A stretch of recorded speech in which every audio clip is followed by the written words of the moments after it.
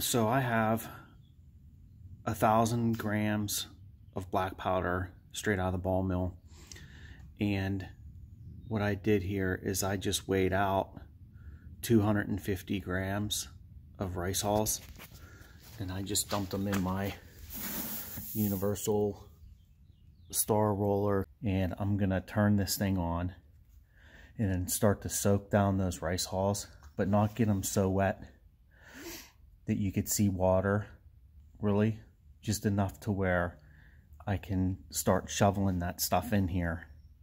And then kind of as fast as I could spray it and shovel it in there. That's what I'm gonna do